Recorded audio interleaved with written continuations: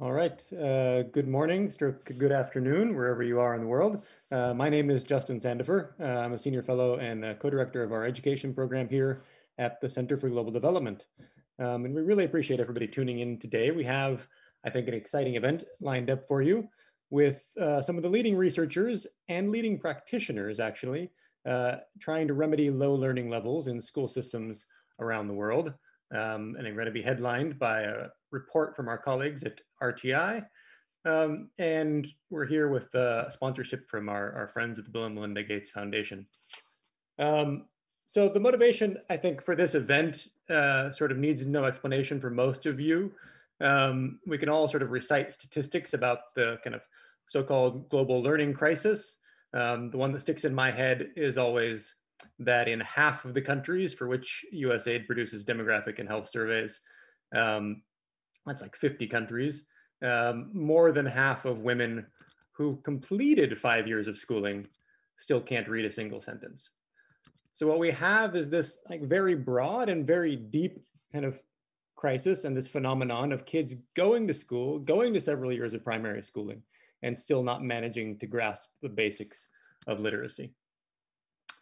I think what's intellectually frustrating about this problem, frustrating but also interesting and challenging, is that, of course, teaching kids how to read is sort of a solved problem uh, technologically. You know, my kids go to a school, you know, in Washington, D.C., down the street here, and they've learned how to read, and that school knows how to teach them to read.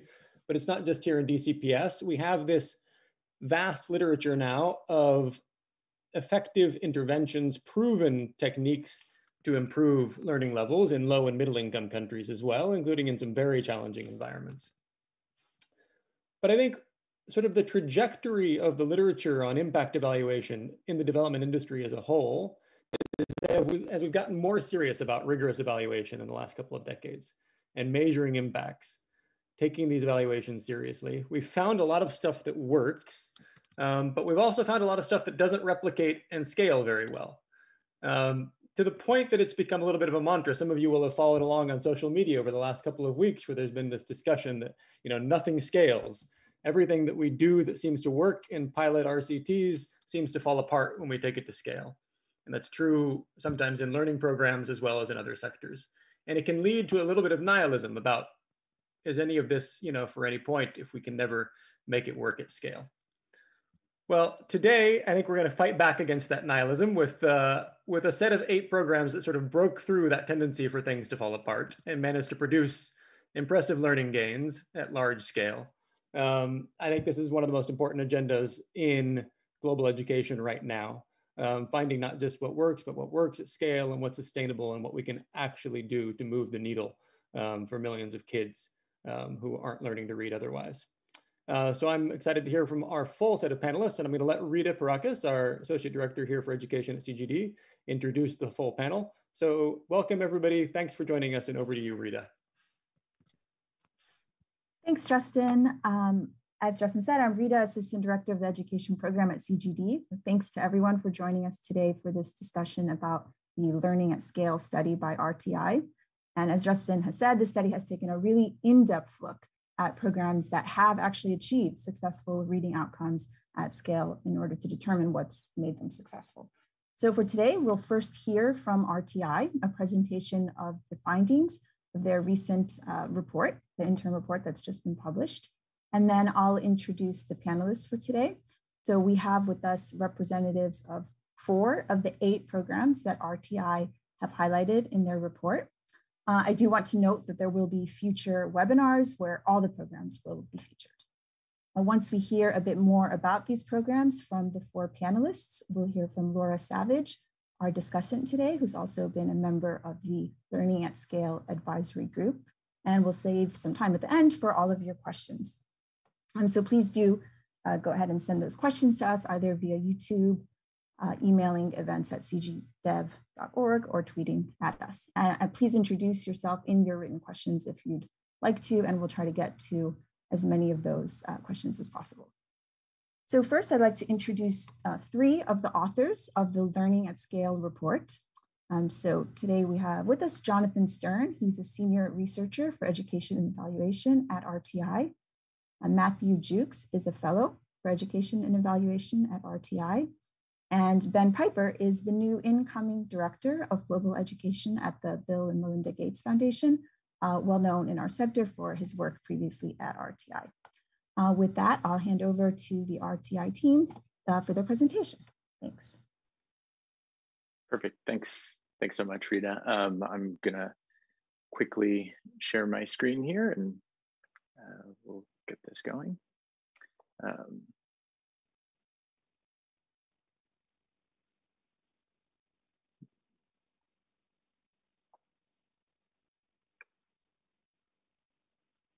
perfect. Hopefully people are seeing the correct screen. Just a note, excellent.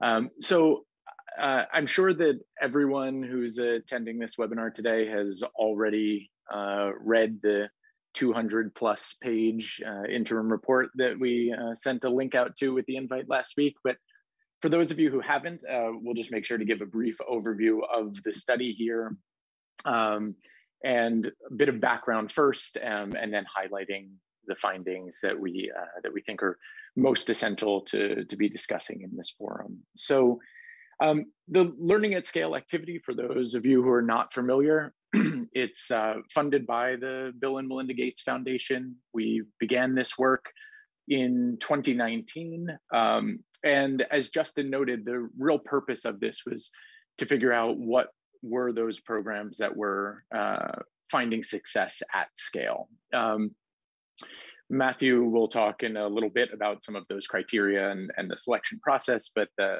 that's the, the general big picture of kind of where the impetus for this uh, study came from. The original intention was to have data uh, fully completed for all of these uh, data collections completed for all these programs uh, last year. Uh, COVID unsurprisingly had an impact on that but we didn't want to wait any longer to get this information out there. So that's why we are now holding this event. Um, but we will be talking about this, uh, mentioning several times that it is an interim report. Um, we have full data collected from some programs um, and less uh, data collected from some of the others. So some of these findings are, um, are preliminary results that we, we are seeing coming out of the data thus far um, but we will be continuing to refine them uh, as we move forward and as we continue to, to finalize our data collections for, for the remainder of the studies. Um, and as Rita noted, we will, in addition to this event, um, be having three more events in the coming months that will actually highlight um, additional uh, programs that are involved in this study and will focus more on uh, each of the research questions uh, in depth. Um, so today is kind of the large overview and we'll get into the, the policy focus on um, instructional practice, instructional supports, and system supports um, in the three ensuing webinars. Um, so just very quickly, um, as a highlight to start, um, some of the main things that we found while working through this in the in the past two years uh, the first, which was something that you know Justin noted the importance of this work in in general, is that we actually found that it is possible to substantially improve learning outcomes at scale working within government systems. Right, that genuinely is a question that we're grappling with, and it was nice to find that there were eight programs that we could even study for this. Um, although Matthew will talk about how many programs we sorted through in order to get down to the eight. And so it, it wasn't as easy as we may have hoped to find those programs, but we did find programs that were able to, uh, to see success at large scale. Um, a second is that there's evidence of multiple pathways to success, right? So each of these programs were doing slightly different things in their implementation approach. However, there were definite significant commonalities across. Um, part of that is related to uh, the funding organization for many of the programs, which Matthew will talk about a bit. But also part of it is uh, is just thinking about what works um, and continuing to to move forward with uh, with those approaches. Um, a third point is that working through government systems for all of these large scale programs was absolutely an essential component, right? None of them wanted to create a parallel system. And in order to work at large scale, it is going to be important to, uh, to work with and through governments. However, getting to that second stage, which we talk about a lot in this field, on the institutionalization and sustainability piece, that still does very much remain an elusive component, despite the significant you know, capacity building activities that, uh, that many of these programs implemented.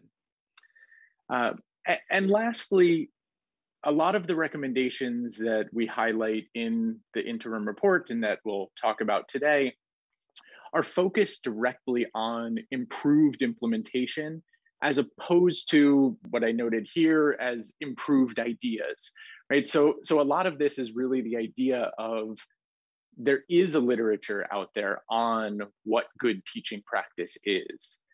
Where the rubber hits the road is how do you actually implement that well at scale? It's often less about coming up with new innovative ideas for how we can teach in the classroom. And in these programs, at least, more about how they're able to uh, successfully implement and what they're doing in order to uh, to see these successes as opposed to coming up with something uh, new and innovative that no one has done before. Um, and the reason we sort of say that is because sometimes when you look at these findings, you might look through and say, yeah, we already knew a lot of that. But that's sort of the point, right? That yes, we know that many of these things work, but the question is, how can we get them to work well and work well at scale? Um, so I'm going to hand over to Matthew to talk uh, a bit about the background uh, in, in, more detail. Yeah, thanks, Jonathan, and thanks, Rita and Justin, for the uh, introduction. Um, in fact, Justin, you, you did a great job of going through the slide pretty much um, in your introduction. I see this as a sort of chronology of what we've learned about improving um, early grade outcomes. Um, about 15 or so years ago, there's a proliferation of studies documenting low learning levels, and, and, and that remains the case in many low middle income countries today. Then lots of positive news from small scale interventions that were evaluated and shown to have positive effects, proving what um, the children at, at, at, Justin School already knew that, that there are proven technologies to teach reading and mathematics, um, but then a concern that this was limited just to small scale studies and how do we replicate this at scale. Um, but then, you know, anecdotes and, and, stories and evaluations coming out about larger scale programs that were successful. So we set out to identify and we found eight highly successful early grade programs that were working at scale. Um, and we collected new data and analyzed existing data to, um, to, to, figure out essentially the ingredients for how they worked at um, at the, the, classroom level, the instructional strategies that worked, and at the system level, what supported those classroom strategies. So um, we uh, sent out a call, identified 60 organizations that were promising. Um, we had conversations with 52 of them um, uh, from a, a, range of donors from you know, the World Bank, GPE, UNICEF, um, USAID, and DFID as it was, um, and others. Uh, and we selected eight programs um, in the end with support from uh, an advisory group that uh, helped us um, have a bit of objectivity about this. Uh, we had a whole list of criteria, but the two that were hardest to meet were um, the, these two highlighted here, effectiveness and at scale. For effectiveness, we wanted evidence um, from a causal impact study uh, that the, the, the, program was effective. Um, and this, we feel, probably ended up um, pushing us towards a certain kind of program, particularly donor-funded programs were, um, were more likely to have these um, rigorous evaluations than, say, programs um, led from within governments. Um, and we also wanted it to, to, happen at scale. And scale, we talk about 500 schools, but it was also a conceptual thing that we wanted it to be um, administered uh, or implemented across um, whole administrative subdivisions. So we really wanted to examine um, uh, the, uh, the, the, um, the system uh, within those subdivisions to understand how they supported implementation. So we wanted at least two subdivisions. Um, uh, and yeah, next slide. we ended up actually with eight uh, literacy programs um, or programs that, that included literacy. Some of them had numeracy as well.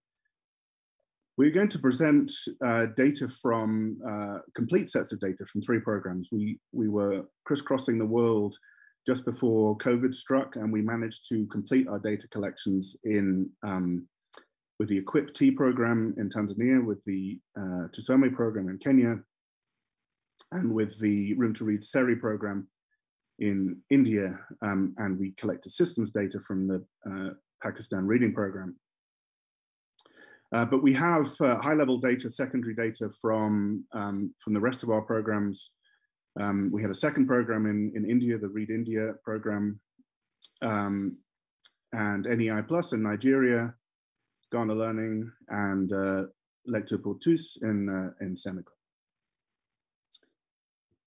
Okay, and so um, we had three research questions at different levels. If we start from the classroom, um, we wanted to know about instructional practice. So what classroom ingredients, um, such as teaching practices or the classroom environment, lead to learning and programs that are effective at scale.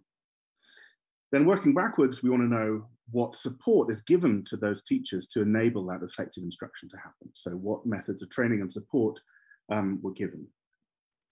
And then finally, what system, system support is required to deliver um, that effective training um, that teachers receive and the support they receive um, that, that trickles down to effective classroom practice. So those were the three research questions. Um, we thought a lot about the methodology uh, for these programs. Um, the many of the programs had already been implemented, so the, their randomized evaluations had already taken place. Um, and we were also working at the system level where we also had to be creative about um, how, how to demonstrate the things that we were documenting um, were not just things that the program had done, but, but were actually the things that were responsible for the program's success. So trying to understand an element of causality. So we uh, combined several approaches. Um, the uh, we collected classroom level quantitative data with a counterfactual. So that means we were able to compare with a quasi-experimental design where the teachers in the program schools were um, uh, were behaving differently, implementing different strategies from those in control schools. Um, this is in countries that didn't have a complete national um, uh, rollout, um, so we were able to find control groups. The second approach was what we're calling theory-based methods. So we mapped out a whole causal chain from the ministry um, to, to the districts, to, to coaches, to teachers, and to the classroom, um, and looked at all those steps and examined each one of those steps to see how um, it influenced the, the next uh, chain, the next part of the chain. Um, so we had qualitative interviews uh, with, um, with all the people involved, in districts, teachers, and also quantitative descriptions um, uh, the, of uh, activities happening at all those levels. Um, we also have some uh, documentation of the programs um, to understand what their intended approach was and talk to the people involved to do a high level analysis, which is available actually for all eight of, of the programs, um, not just the three or four we were able to visit. And so there's a lot of primary data collection, 31 uh, new instruments uh, implemented in total. And so the idea across these methods is that if, for example, all of the programs say that phonics is, is an essential component, and the teachers we interview, the district officials we interview tell us that was the reason the program worked, and we observe high quality phonics instruction happening more in the program classrooms and the control across all of our countries, then we feel like we have a pretty strong evidence to say that is um, an influential component of what makes all of these uh, programs successful at scale. Um, and then I think I'm handing back to Jonathan.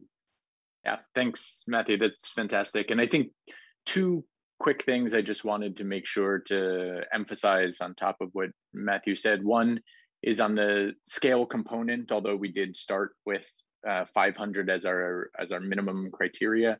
Um, we ended up with across the eight programs um, with between 3,000 up to about 25,000 schools. Uh, so they were all significantly larger than our than our minimum scale criteria. Um, and the other thing that that Matthew noted that I think is really important to highlight again is that these programs were selected based on rigorous evidence of impact prior to the work that we were doing, right? So we were not assessing the uh, or evaluating these programs, the impact of them on student performance. They were pre-selected based on evidence of impact, and we were then looking at, you know, what it is that they were doing uh, that we think is is driving uh, is driving that, and and that brings us to you know the the findings that we'll go through uh, in the next through few slides here. Um, we'll go through these as aligned with the three research questions. So beginning with the instructional practice. Um, one of the things we noted was that six of the programs increased instructional time in the weekly timetable that was dedicated to reading, right? This is an essential piece in many systems where there is uh, relatively uh, little time dedicated. Having any additional amount of time uh, was was valuable for these programs to uh, to be successful. And we see in this slide here from th- the three countries where we were able to collect um, the primary data that for all three programs, EquipT, SERI, and Tusome, um, that dark blue bar on the left side, um, which is the, the reading component, um, this is the um, percentage of time spent on different areas um, of instruction in the classrooms that we observed. And that dark blue bar on the left shows that for all three programs, what the most time in these classrooms was spent on the reading component itself. Um, there was significant amount of time in some of these programs on uh, phonological awareness as well. That's the PA, so that um, bit of a precursor to, to reading instruction per se. But one of the important things is the, um, lower amount of time actually spent on uh, oral language and on the management and nothing side uh, over on the right, um, but but a large focus on on reading explicitly in reading lessons. It may sound very obvious, but it is something important uh, to note the uh, the amount of time dedicated to it. Um, we also saw that these programs all focused on showing the relationship between sounds and letters, right? So shifting away from the more traditional whole language approach to include a phonics component. Um, it didn't always mean that it was a explicitly phonics-based instruction only, but having a phonics component in a balanced approach to literacy. Um, and when we asked teachers what part of their instruction had the biggest impact on student learning, um, we found that a combination of more focus on letters, sounds, or blending, um, and the new methodology or instructional approach, which was very much tied to uh, this, this phonics-based initiative um, across uh, SERI, Tusome, and EquipT were the, were the main drivers uh, in teachers' minds behind what it was that was impacting uh, student learning. Um, we also had a teacher in the SERI program um, tell us that it's based on sounds because of that even writing gets easier. First they learn the sounds, then they learn the writing part. The quote continued to, to go on to talk about how much the, uh, the focus on phonics was essential for, for learning other skills uh, as the students went on. A third uh, instructional practice finding is the use of systematic and explicit direct instruction. Um, this is very common across the programs, often paired with structures te structured teachers guides, which we'll talk about uh, in the instructional support section. Um, and six of the programs were using a gradual release model, so the I do, we do, you do approach. Um, and if you look at this slide here, um, this is the number of programs across the eight uh, that included a uh, each of these components in their implementation is the dark blue bar at the top of each line. Um, the lighter blue bar below is if the program noted that that component was key to the project implementation and success. Um, and so you can see here that uh, all eight had a phonics-based instruction component, seven had a direct instruction component, and at least half of the programs noted that those two things were essential um, for the success of the program and were a key uh, component of their implementation. Um, sorry, uh, let me just run back quickly on that, I apologize. Um, so the fourth finding um, that we had for the instructional practice um, is just the idea that seeing evidence of uh, improvement in engagement in the classroom led to improved teacher confidence as well. And, and this was done in a number of ways, but one of them was variation in instructional strategies, um, which then led to uh, improved engagement. Um, and we had a teacher or a meeting facilitator in the EquipT program uh, tell us that students now do better and therefore teachers are proud of the ability to deliver the, the EquipT program. And initially teachers weren't keen to teach uh, standards one to four, classes are too big, they didn't know how to make aids and such, um, but now they're confident. This was a common theme that we uh, heard from teachers, coaches, and meeting facilitators across programs, that the increased confidence um, also led teachers to, uh, to implement more fully uh, in the classroom. Um, sorry, I, for some reason, have uh, an issue with that um, going back to the correct slide, I apologize. Um, so moving on to the instructional support findings, um, trainings uh, for all of these programs, as well as coaching and communities of practice, uh, really focused a lot on giving teachers more opportunities to practice and rehearse the skills that they were learning as a part of the program. Um, this is an essential piece of uh, the programming. Trainings also tended to be shorter and more skill-based, as well as at a lower level of the system um, than, than teachers had noted uh, prior um, trainings had been.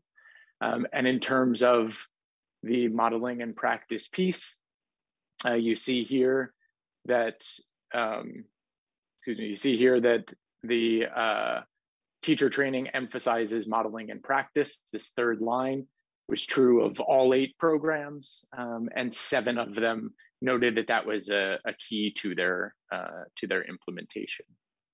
Um, we also, when excuse me, asking uh, teachers about what activities occurred more frequently during program trainings than prior trainings that they had attended. Uh, you see that the, the largest uh, increases were on discussion, modeling, and small group practice. Um, these were three things that were uh, significantly increased uh, during program trainings relative to, uh, to prior trainings. Um, and there's a coach from a, the SERI program that talks about the importance of um, demonstration and involvement of, of teachers um, being able to, to practice uh, as every day of the training moved along. Um, structured teachers guides um, simplified the instructional practice, uh, process and built confidence. Six of the programs um, noted that this was key to their implementation. Um, these structured guides were uh, were also um, included. One, one of my favorite quotes, I think, that we um, that we include in the report was uh, from a teacher in the SERI program that said, uh, "With the teacher guide, all the problems went away." That may be um, a bit uh, of an overstatement, but it just shows the importance of the teacher's guide in the minds of these teachers who are learning new instructional approaches, um, having to uh, employ new practices in the classroom, but having something that can guide them through was really valuable for them feeling confident in their ability to, uh, to learn the new approaches and skills. Um, programs focus on positive and collaborative teacher support. Uh, this is another shift from more traditional approaches Um, we typically see a lot of inspection and supervision in the mindset of, of uh, teacher support staff. Um, so all of the programs really focused heavily on um, a positive and collaborative uh, support for teachers, which was noted by teachers themselves, as well as by coaches and community of practice meeting facilitators who all discussed uh, the importance of that collaboration and the positive aspect of their, their work together. Um, and lastly, on the support side, the improved books. Um, so both having access to books in the classroom was an essential piece in and of itself for students. Also having those books related to the curriculum and the teacher's guides that were being used. And lastly, we had a lot of um, people talking about difficult um, for children to learn from. Students were not very interested before, now they're interested. They have techniques for sounds blending are very effective a Tusome teacher talked about them enjoying the stories very much. The pictures are real, it brings their interest. Um, it was once again common uh, for, for people to discuss the importance of uh, having books that, that children wanted to read and learn from in the classroom. Uh, lastly, we move to the system support side of things. Uh, one of the most essential pieces was aligning the program priorities with existing government plans.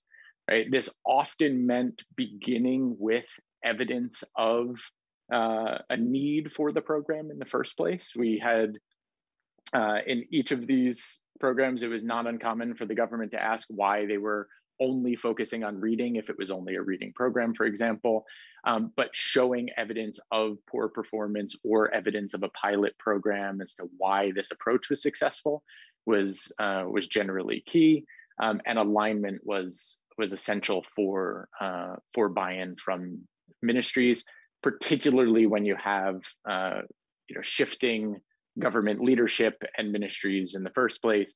Aligning with government plans and priorities is uh, is an important uh, undertaking. Um, all programs invested in ministry capacity building um, and the delivery of services.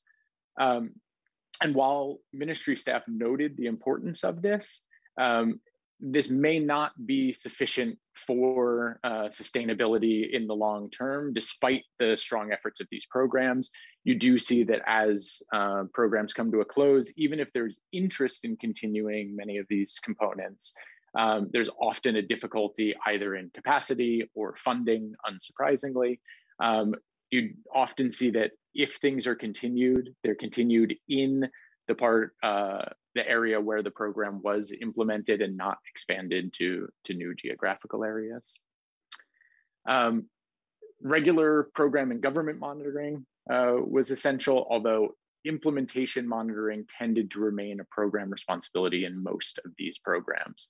Um, they, even when using government staff as uh, as the uh, supervisors or coaches, um, it still often relied on uh, additional input and oversight from the program uh, in order for that system to, to work as effectively as intended. Um, and lastly, you know, mapping out a transfer of responsibility was a, was a key component of these programs, which led to all of them institutionalizing at least some components um, and none uh, were able to institutionalize all of them, whether or not that's even uh, an intended focus. Um, but the idea here is the importance of all of these uh, components working through and with the government as much as possible to transition some of these uh, components moving forward, although the, the institutionalization and uh, sustainability piece, I think, um, are, are still requiring a fair amount of work to be done in the future. Uh, lastly, just as a, a little note for, uh, for what's coming next. So we have um, findings briefs that highlight each of these uh, three research questions and the findings and implications of them. And we'll have policy focused webinars on those as we noted earlier. We have a few data collections left to complete, uh, after which we'll update um, the report and have country level dissemination events.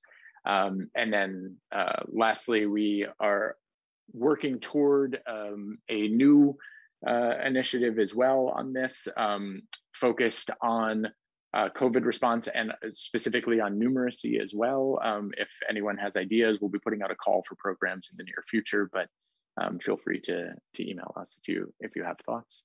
Um, I'm gonna end the slideshow here, but turn over for a moment to, uh, to Ben to, uh, to give some additional remarks. Thanks so much, Jonathan, and uh, greetings everyone from Nairobi. Um, it's worth noting verbally, as well as we've done in the report and the, in the PowerPoint, that one of the programs that were selected for learning at scale was a program implemented by RTI, and I actually personally had a role on that. So it's worth just everyone knowing that there was a, both the research side and implementation side overlap.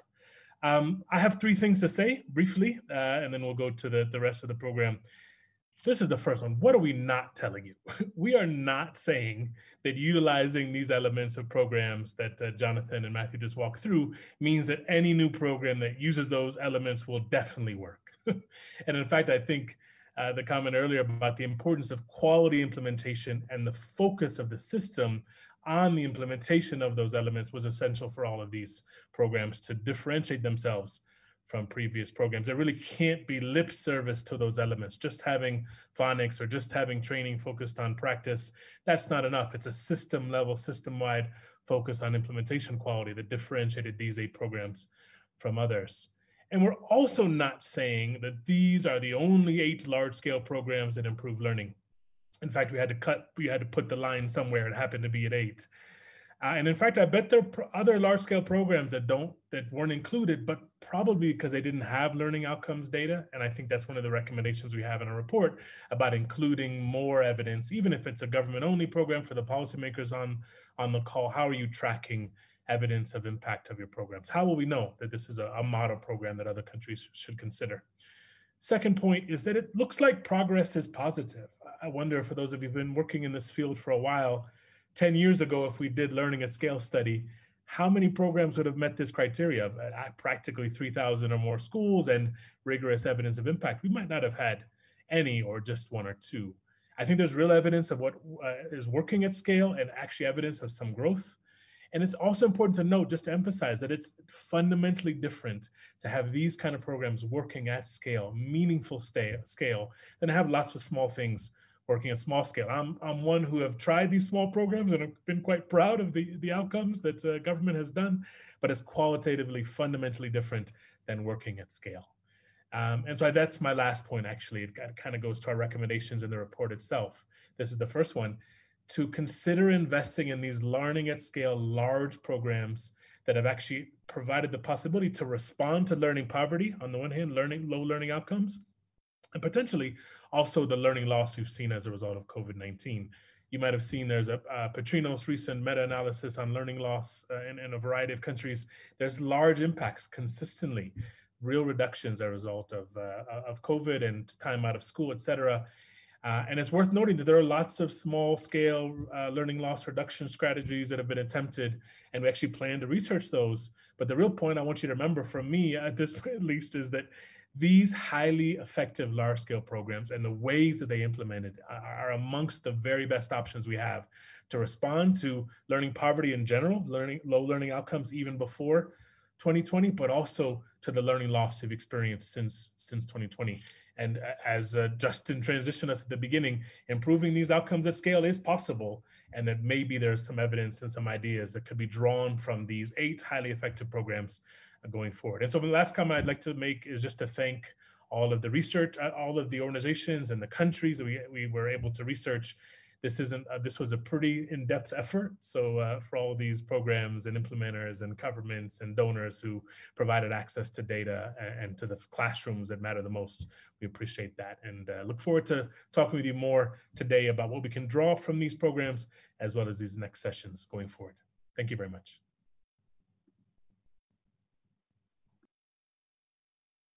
Hey, thanks to all of you. I'm sure you've sparked a lot of questions and comments. So please, to the audience, please keep those coming in.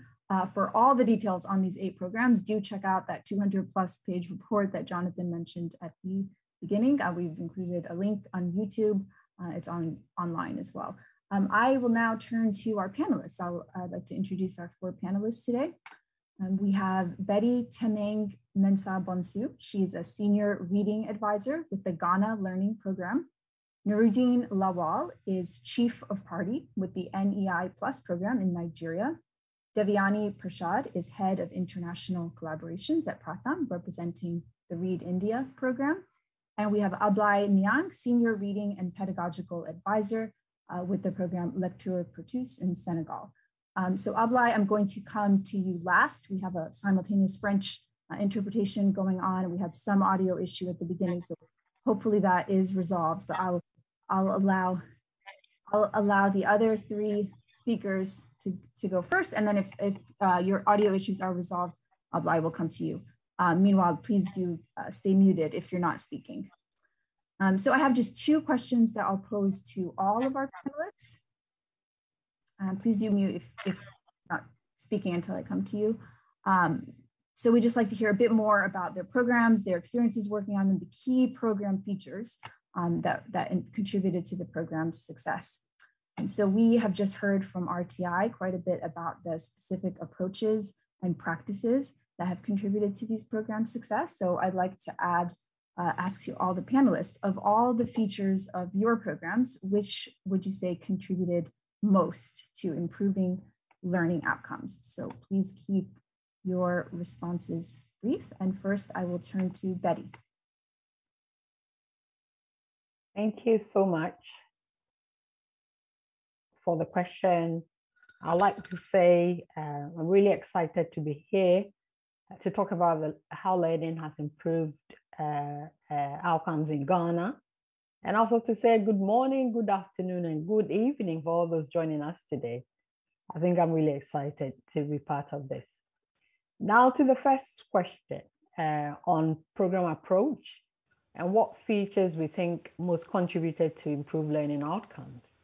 I think for learning, uh, to start with, uh, our theory of change has been that if we have materials, training and coaching, along with continuous monitoring for teachers, this will lead uh, to the teachers being exposed to in instructional changes. And with the teachers continuously applying these new instru instructional changes, we should see improvement in learning outcomes. And I think that is what we've done uh, uh, throughout the whole of the learning activity. So we're looking at the components of the um, uh, theory of change, the first one is the instructional approach, which uh, is the systematic way of teaching reading from the learning of the letter sounds to comprehension. And this is achieved by explicit instruction uh, before any learning outcomes uh, will be achieved. And then also the dose. Uh, for our program, we have an hour every day uh, for literacy, and that has also made a lot of difference to how uh, children are learning in the classroom and, and the outcomes as well. The second one is materials. Uh, our teaching and learning materials are uh, locally developed and our emphasis are on content relevant teaching and learning materials where children can really relate to. And this has really helped children to enjoy uh, reading and participating in lessons because they can relate to what is going on in the classroom. We have teacher guides and we have a pupil book, which every child has got their own copy. So they're able to really participate fully in uh, activities in the classroom.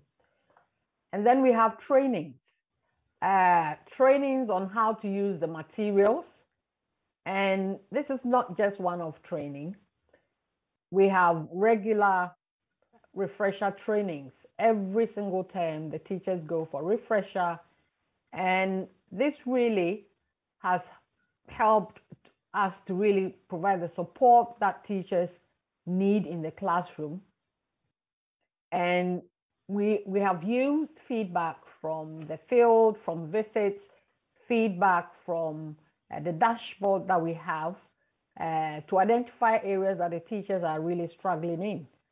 So we base our refreshers based on those activities that really help teachers to improve in their delivery. And then we have uh, continuous teacher support and monitoring, and then coaching. So for teachers, that also made a lot of difference because regularly they had the support in the school. Somebody was there to really help them to solve problems, and then they were being monitored consistently. So that also contributed to the uptake of the whole program. Teachers became very comfortable and really loved uh, the, how the, the whole approach helped them to improve in their teaching. And then finally, we have the system take up. We've heard a lot about it. Uh, this goes straight into the second question, but that really made a lot of difference into uh, how our, our program, we believe, will be sustained. So we can go straight into it, or we can pause for some questions. Should I go straight into it, Rita?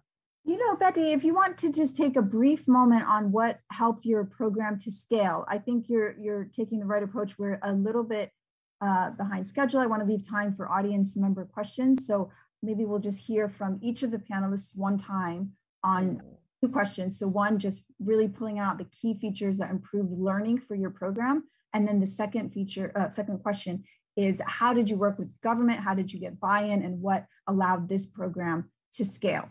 So I'm gonna ask the panelists to hit those two questions. Um, Betty, you've told us, uh, you've given us some color on the, the specific features that improve learning. If you'd like to add something about the question of scalability uh, in Ghana, uh, please do that now, and then I'll turn to the other panelists. Yes, so thank you so much. Uh, to the second question on scalability and how we're able to get the buy-in and support from the government uh, to scale up the program.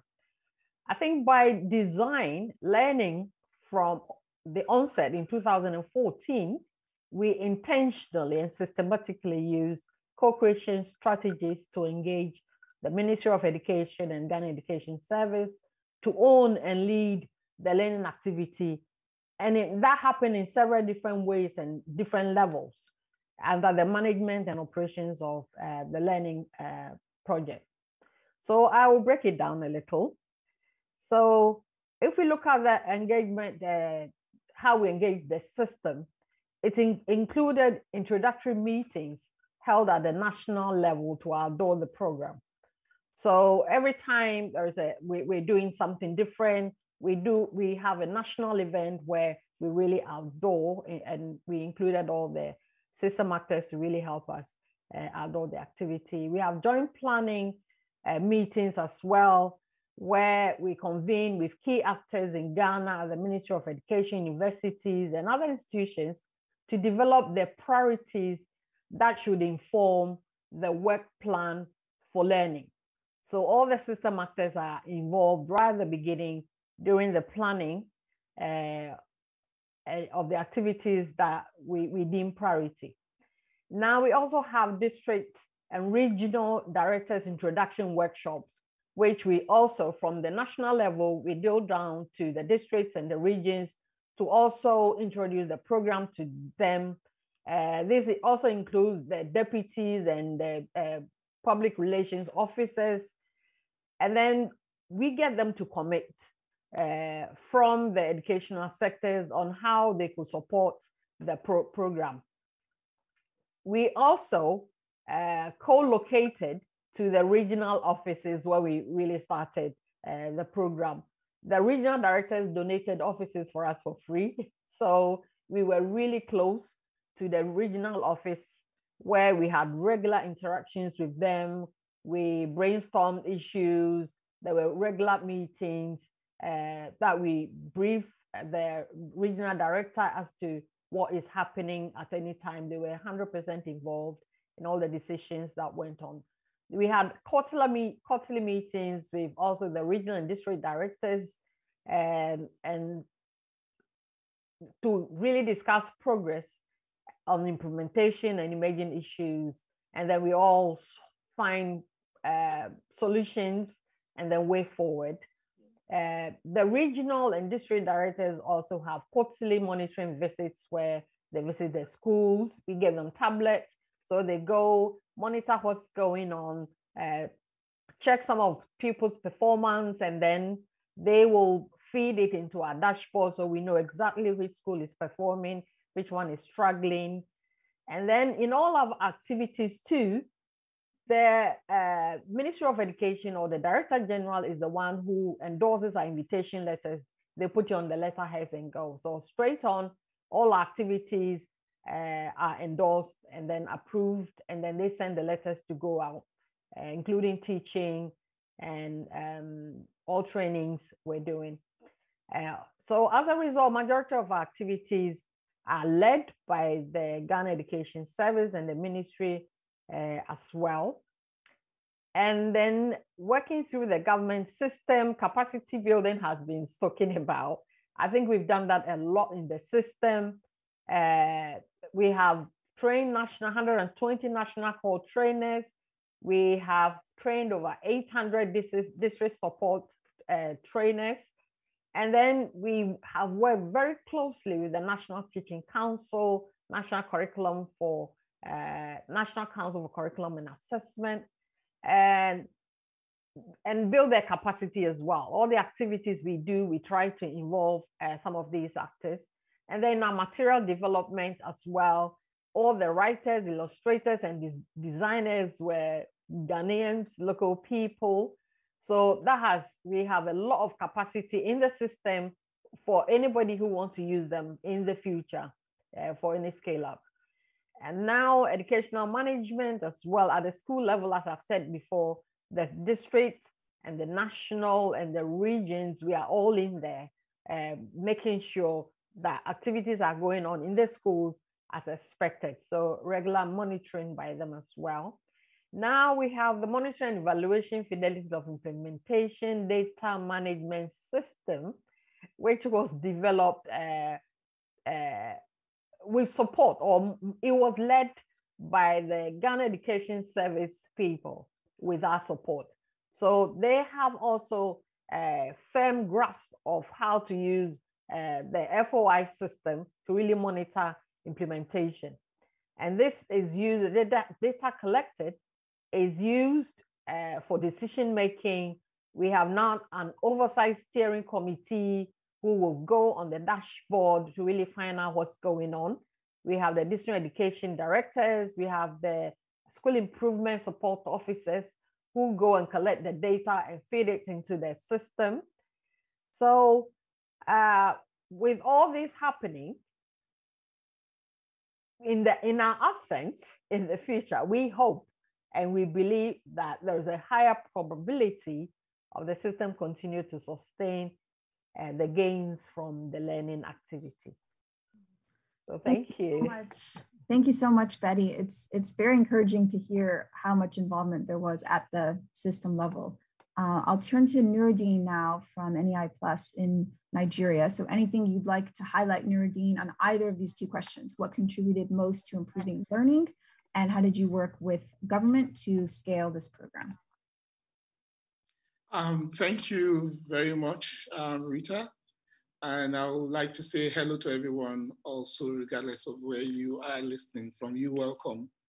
Um, I think the NEI Plus project is quite unique because uh, it's a partly system strengthening program and emphasized that uh, we are supposed to support uh, government systems to strengthen their capacity to develop and improve reading outcomes. And so all that we did uh, is captured as a system strengthening, uh, from the system strengthening approach. Um, I would like to say that based on that, um, it has an element of um, CLA, which is Collaborative Learning Adaptive Approach, uh, which we ran together very closely uh, with USAID and also with the government partners uh, that we worked with at every level of the project. Um, one very important aspect of the project that I need to mention that uh, I don't want to duplicate things that have been said uh, because other projects are very similar, is that we're able to increase the time on task, uh, double it from 650 hours to 1,350 hours uh, per year. And that uh, has a big influence on what kind of material we develop. Unlike other projects, uh, we're able to develop a scripted mother tongue based uh, TLMs, teaching learning materials for pupils and for teachers, which is also phonics based. One additional part that are really important was the pre-service aspect of the, of the activity that we're able to have an aspect of this activity by introducing reading into the curriculum of colleges of education in Nigeria. I'll come to that under um, system strengthening and sustainability also.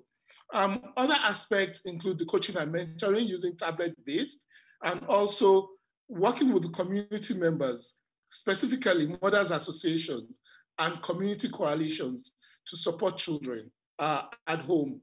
Um, one very important aspect of this that I, I, want to emphasize also is the teaching learning materials. For me, it forms the core of almost everything that we did because it's, it's there that we have the phonics approach, is there that we have the scripted lesson, it determines uh, the interactivity that children were able to have even when in school and when out of school. And if you look at it, one of the greatest problems around reading is children having books to read. If they don't have books to read, they cannot uh, be able to learn how to read. Um, a figure says like 5.6% of children uh, only have book, three books at home to read as of 2016. And this is a recurrent cost for government because it has a very uh, big implication for government costs.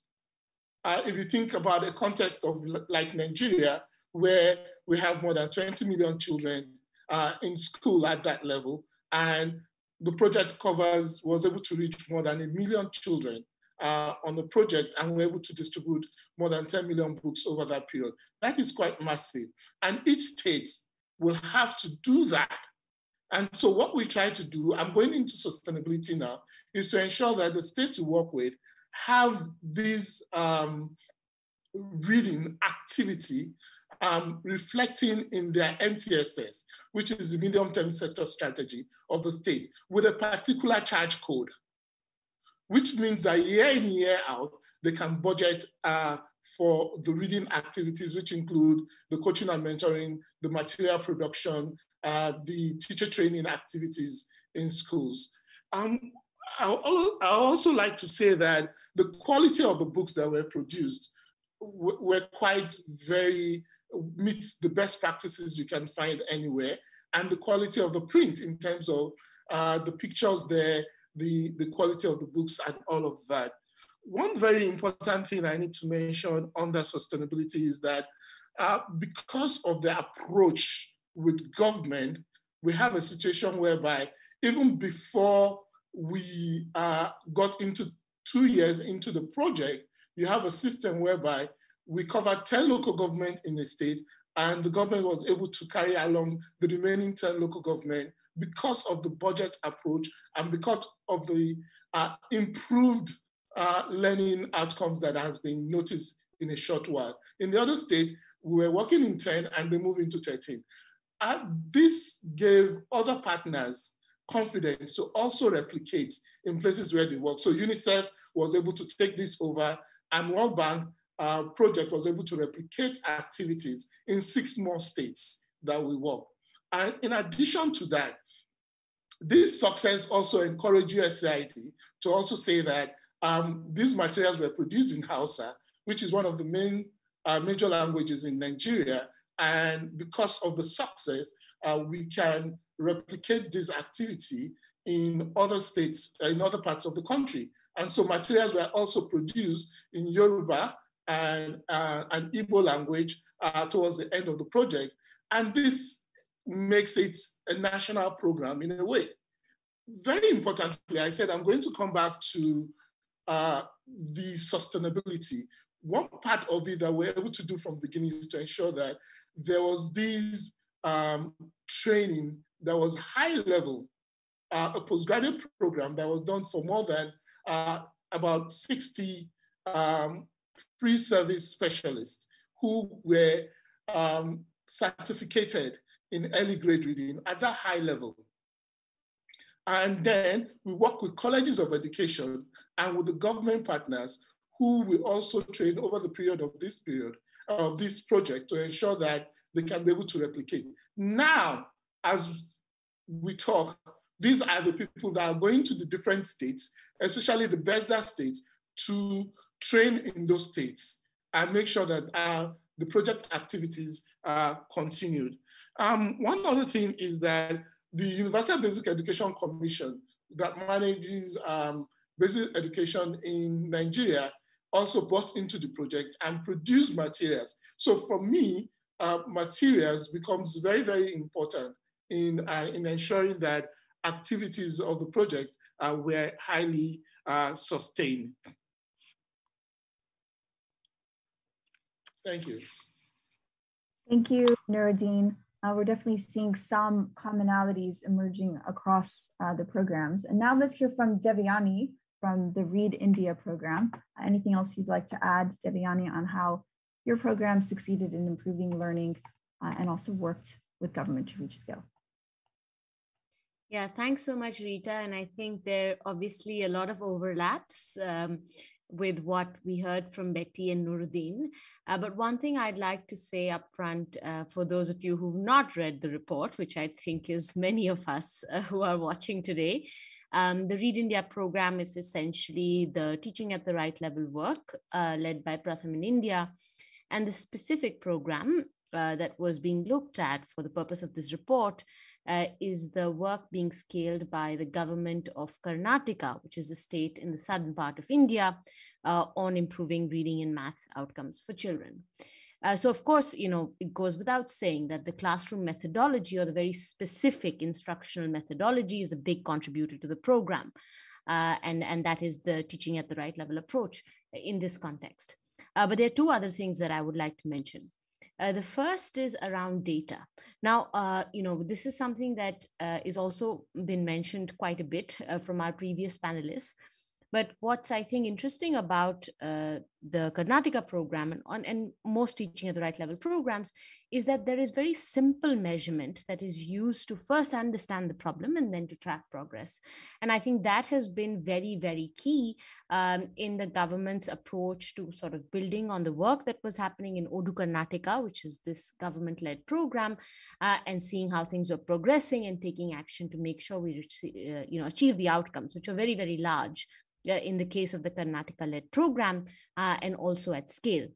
And the second part I'd like to mention is this sort of mentoring support and review structure that was built into the program.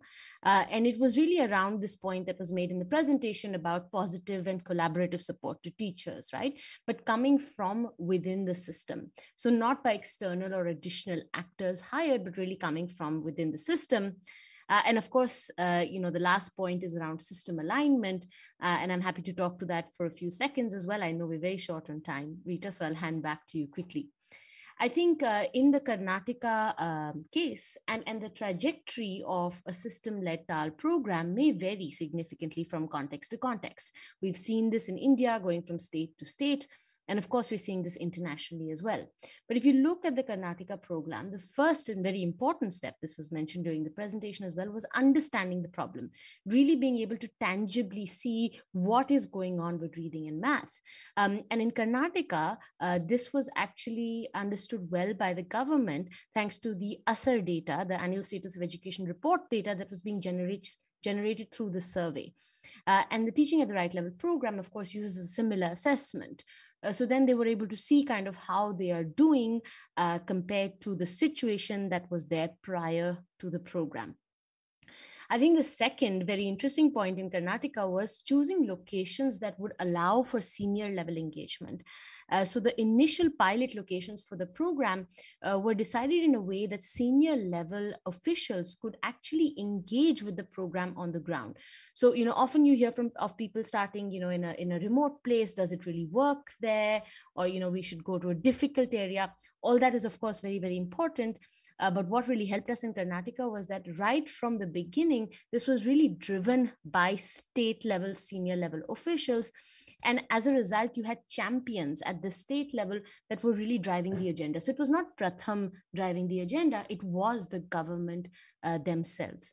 And how were they able to do this? Well, of course, is with very careful capacity building, right? So thought of very carefully at each level what kind of capacity building is necessary.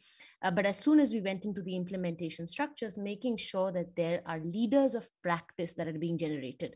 So people from within the government system who are understanding the problem themselves, being trained, trying the approach themselves in the classroom before taking it forward.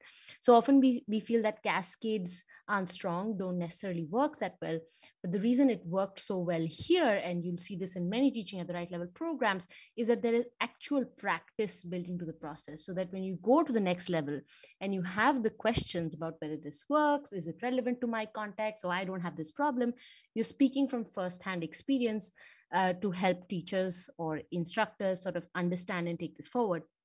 And then the last thing I'd like to mention about government buy-in and, and contribution to scale is learning and sharing. I think with every year of implementation, there was very careful, you know, thought going into what are we learning, what information is coming out from the program and not just at the beginning and start of a program cycle but throughout the program cycle. Not just from the pratham side but from within the government system. So having you know this simple data having dashboards having these review processes really help to be able to kind of understand what's working and what isn't uh, so that year on year the program could be strengthened Pre-COVID, the program was uh, in about uh, 20 districts out of the 34 in the state, in all schools in those districts. And this year, as schools are coming back post the pandemic, the government has taken a decision to go statewide. Uh, so that's about 30,000 schools uh, in all 34 districts. And this is really led by the government system uh, through the capacity uh, that has been built. So I'll pause there and happy to take any questions later if we have time. Thank you very much, Devyani. Uh, I hope that Ablay's audio is now working. Um, Ablay, if you are online, uh, please could you add anything on, on these points about learning and scaling?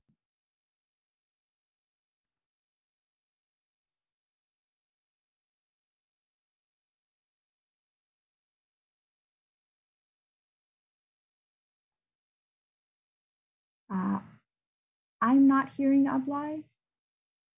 Some people in the background are working on our interpretation.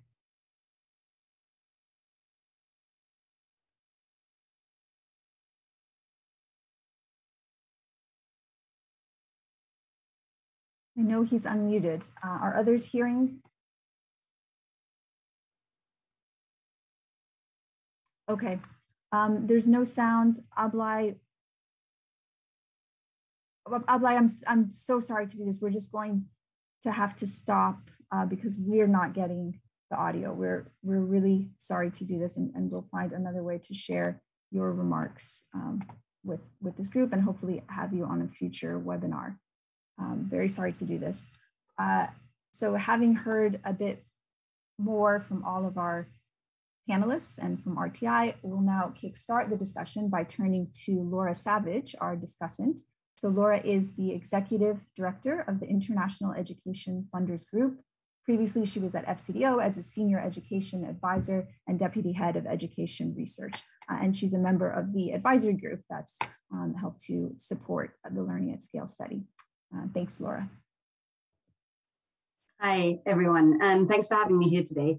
Um, I'll keep my comments short. I'm very aware we're, we're keen to get to Q&A.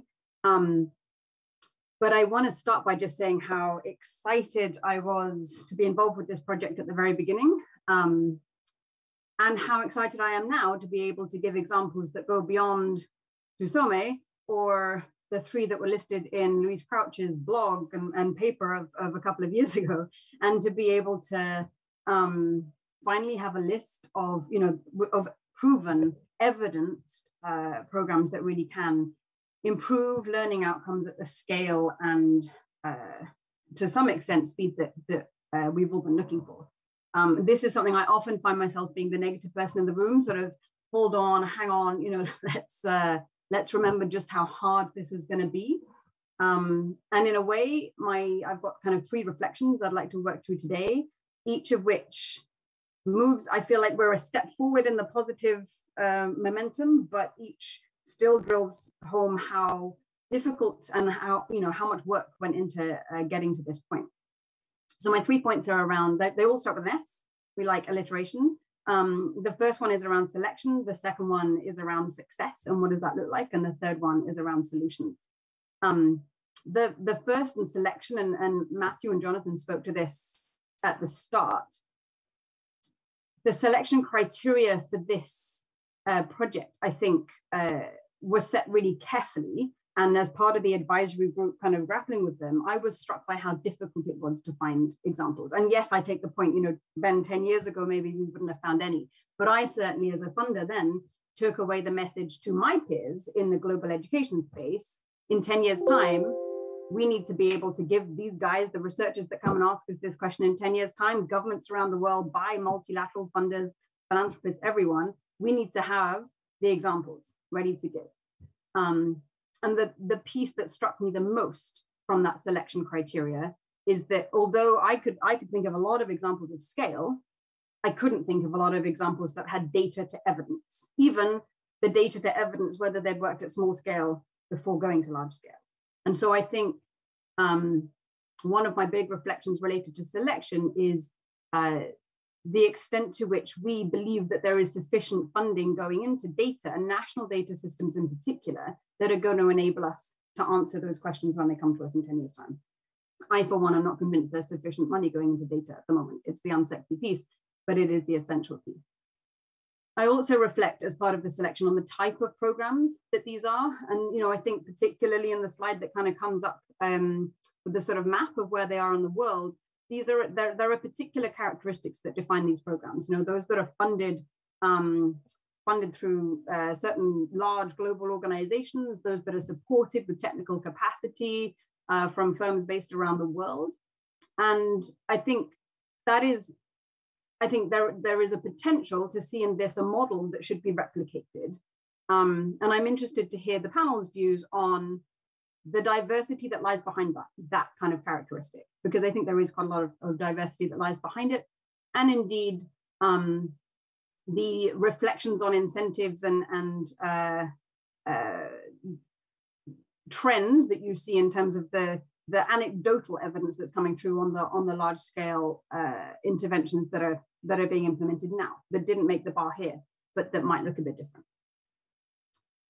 So past uh, selection, the next uh, reflection point I have is success. And I think the the the S on the title here was scale, and that is the success criteria that we're looking at and measuring against. But time and again, the question of sustainability came up in discussion today. And I think there's an important reflection on the interconnection between scale and sustainability. We can't divorce those things. We shouldn't divorce those things. Um, while it is fantastic to see learning outcomes proven at scale through this mix of interventions, I hope we can get more out of the data and I hope we can keep the conversation going about sustainability. And some of that came out, I think, in the last few comments, Betty and Devyani in particular. You talked about co-creation, you talked about the importance of you know, locally led engagement, ownership, and so forth. I'd love to see the evidence base on some of that stuff coming out of, of um, more as we go through learning about education interventions that, that do result in sustainable change. Indeed, I would love, and this is not a direct pitch to any funder in the room, I would love to see more research on these eight in particular track down the line so that we are getting to the point of understanding what makes sustainability, what makes sustainable change. Where I think we have our hypotheses, but I don't think we've got sufficient data on that yet. Um, the other thing I think uh, I, I unpack in terms of success is the, the, the term scale itself. And I don't want to be the kind of uh, you know, the provocative person in the room, but but should we be aiming for scale? And I'm not sitting here saying we shouldn't be aiming that every child in the in the world should be able to read a basic sentence by 10. Again, that's something I, I think we need to underline whenever we're talking to anyone outside the education sector is how basic our goals are here. But I do worry sometimes that when we say scale, everyone thinks big, everyone thinks go, everyone thinks, you know, and that can very easily translate into a cut and paste. Here, you know, we, we've got this thing that works, let's go and do it big. I would be really interested to hear a little more from the panelists on the extent to which these ideas and these approaches that, were, that are laid out here, the commonalities that we see across them, to what extent did you see local adaptation and iteration? And when I say local, I mean really local. I mean at school level. I mean at community level. So to what extent was there flex in implementation that allowed and enabled these particular big trends and big interventions to be made appropriate for particular context? Because it feels to me that that is a practice that can contribute to both sustainability and scale together. And the third point I want to make linked to that is this idea of solutions. And I think one of my biggest reflections from this whole project is that, and, and Ben kind of kind of made this point earlier, but I do want to come back to it, that um, there are really clear findings here, and that's fantastic that we can take away. But I think I value the research as much, if not more, than the findings on what works, because we we need to be careful that we're not producing lists of things that will automatically be taken as go fund implement bang it'll work as ben said earlier. I think um, one of the key things that i take away here is the importance of research and data as we go. As, as devyani said the feedback loops from data that feed into understanding as we implement understanding as we go how and why moving beyond what works but thinking about how why and for whom for which groups of children uh, uh, who learned the most, who didn't learn. And, and I think um, I'd be really interested to understand more about the kind of layers of nuance that we have in the data here and that we could produce going forward. I think finally, in terms of thinking about solutions, and, and I don't like the idea of solutions, um, but I think we do need to think, sort of dig into what worked here by asking questions of capacity and capability. And I think that sort of brings me back round to the first point and the types of interventions that we talked about here. So what are the reflections on, on how the models of support that we've seen as the funding and other types of support that have been given to these interventions, what reflections do we have for building sustainable change in the ecosystems that we're trying to support here? I'll stop there and look forward to more questions from the audience. Thank you very much, Laura. Lot, lots of great points to unpack there. Uh, we're going to move on to, to audience Q&A. We're going to go a few minutes over the scheduled time. Of course, the recording will be available for anyone that has a hard stop at 10.30 a.m. Eastern. Um, I have questions, but there's quite a few that have come in from the audience members. So I'm going to uh, paraphrase a question that's come in, question and comments that have come in from, from quite a few people to, to start the Q&A. Um, so a few people are noting that these are large scale programs that have external funding in the form of aid and donor funding. Um, and that's really allowed the programs to focus on a strong quality of implementation. And the questions are around have the programs considered what the role of the donors has been? What happens when the programs are transitioned over to government? Uh, what kinds of things do these programs need in order to sustain their gains? Uh, and does what's required? Does uh, transitioning over to government require good governance in the country? Has that has that become an issue? So lots of questions around funding streams and um, sustainability, of course. Uh, so I don't know that we'll get to everyone, but if anyone wants to address that question, um, please let me know. Please uh, wave a hand if you're uh, interested in that. So we'll start with Nuruddin and then Devyani. Yeah, thank you. I, I working with governments is very interesting. Like I mentioned in my earlier submission, that uh, you make sure that uh, budget is always about budget. That the reading activity is reflected in the budget of the state and has its own charge code. That's one thing. So year in, year out, it gets budgeted for, whether you are there or you are not there. The other level is to ensure that capacity is developed within the government to be able to implement. And so that means all levels of capacity that is required. Uh, teacher training, uh, management of training, uh, facilitators, uh, book production, every level must be developed. And so we had uh, technical working groups of different government functionaries that handled the, the, the different areas of the project. That way, uh, the co-creation thing was ensured, and when we when we left, uh, they're doing that now, and they are supporting the, the two states that started with. For example, Bauchi State is supporting Yobe State, that is a BESDA project uh, state, to be able to uh, stand on its own feet. So creating a mass within the government and outside of the government uh, for, the, for, for, for supporting reading, I think is very crucial uh, for the continuity and for government to be able to stand on its own. With lots of emphasis on co-creation in, in a couple of the programs that we've heard about. Uh, Devyani? Yeah, thanks so much, Rita. I think um, the the interesting part uh, of of most of Pratham's work at scale with government in India, which many people don't often know, is that all of the core programmatic costs are taken care of by government.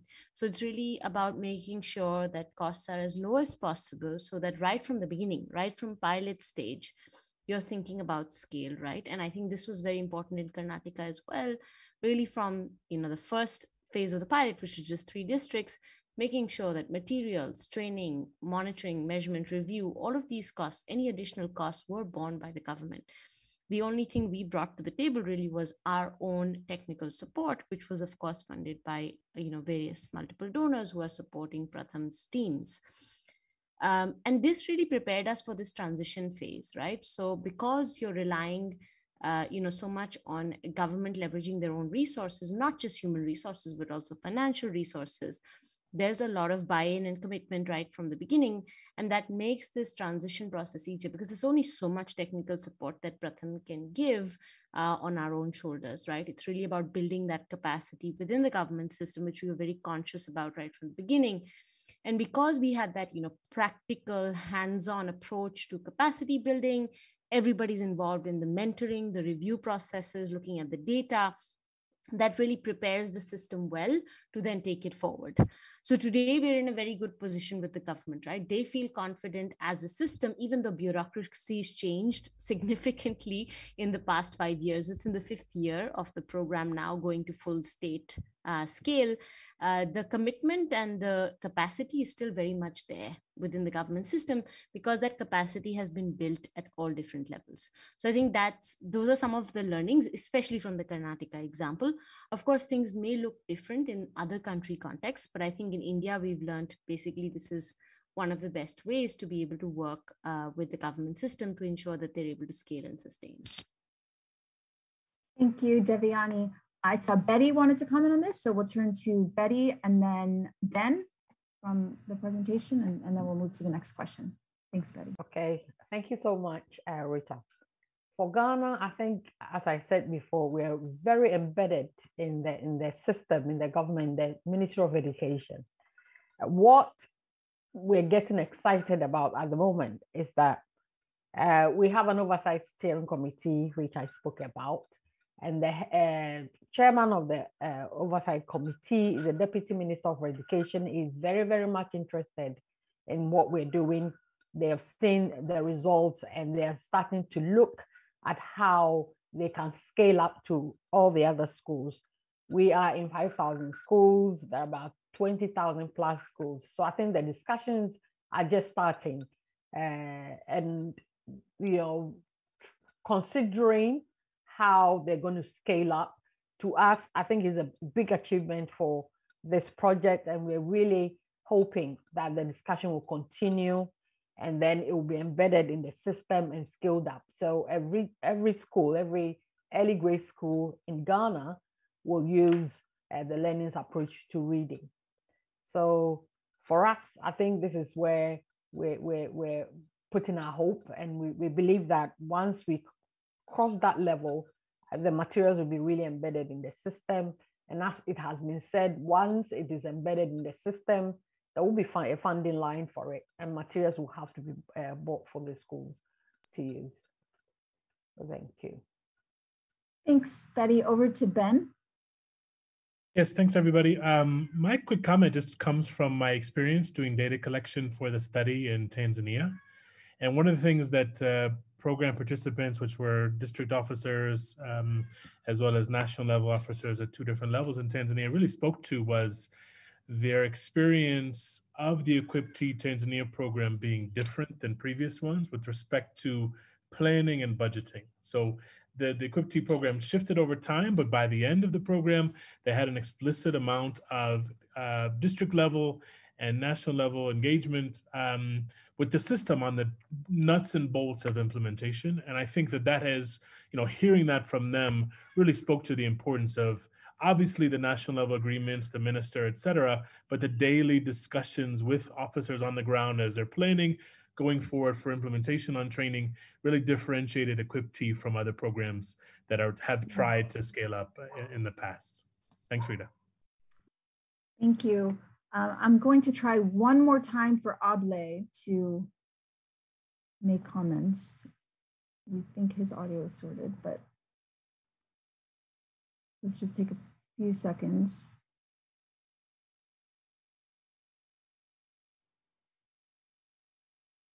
Ablay, it may just be that your microphone is not connected. We still can't hear you. Sorry, Ablay. Um, next, I want to come to a question that, that Laura asked. We have some related audience questions as well. She asked about whether the panelists saw local adaptation and innovation as part of the program um, in addition to that, perhaps related, how have the communities themselves, parents and communities otherwise been uh, involved in these programs?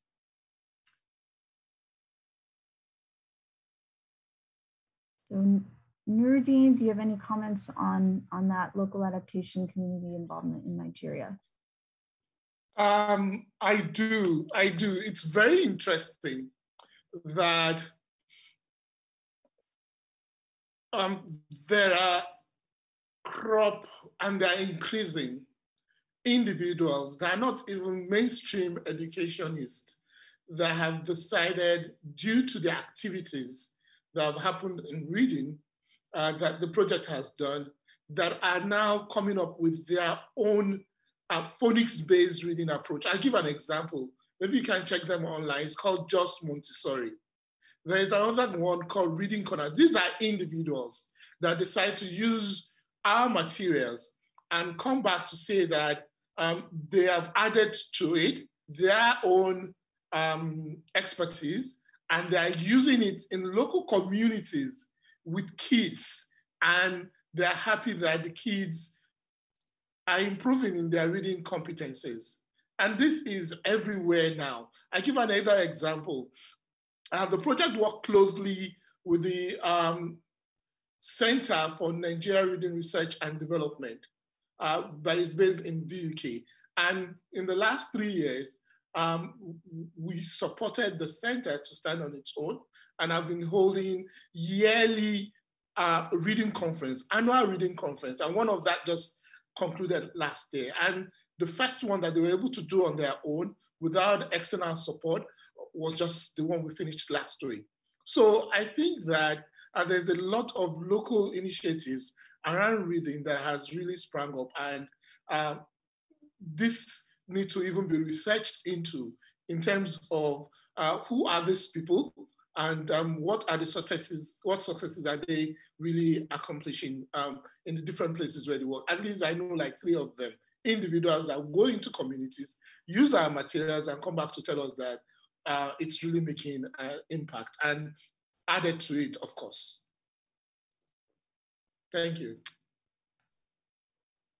Thanks, Nuruddin. And I'm sure there's so much rich discussion we could have about everything that happened in all of these programs. Um, anything else that anyone uh, really wants to highlight in terms of local adaptation, innovation, and community involvement?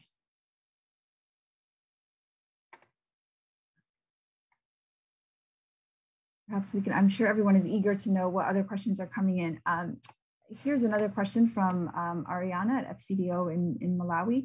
Are we not picking up lessons from programs similar by design? So this relates to Laura, Laura Savage's point about what gets evaluated, what gets included.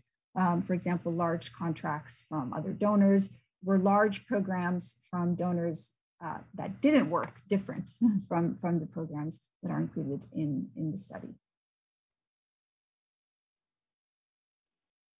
Yeah, I think Rita, it's I mean it's a great question. It's something we've been talking about a lot on our team is you know we we talked about the similarities, right? And there I think are two aspects to that, right? One is we are therefore highlighting the things that were folk that were funded similarly. So six of the eight programs being primarily USAID funded, and USAID tends to fund a certain type of program, and therefore by design, we are saying these are the things that work because those were the things, right, that were that were funded there.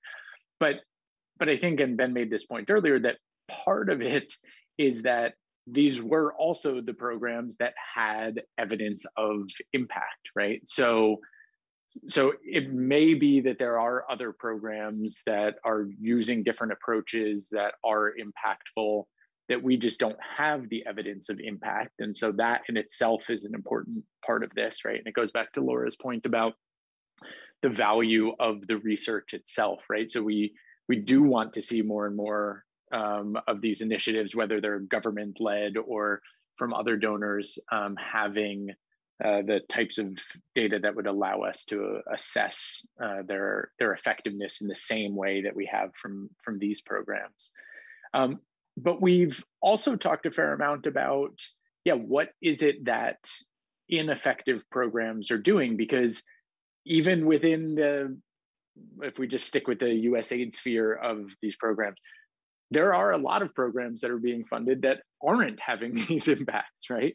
And so that's kind of what we were saying at the beginning on the the idea is understanding how to implement effectively less than trying to understand what are these like you know new or different things that we can be doing right? It's it because it may be that there are two programs that are following some of the same exact designs but it's working in one context it's not working in another. And i think that's where you need to look at these things a little more holistically right? And so trying to understand from our side the instructional practice, instructional support, and systems all as a comprehensive model allows us to understand how do we implement each of these components as part of a big thing that, that we think may actually um, be effective and just picking and choosing small aspects of it um, may not uh, may not ultimately get you there.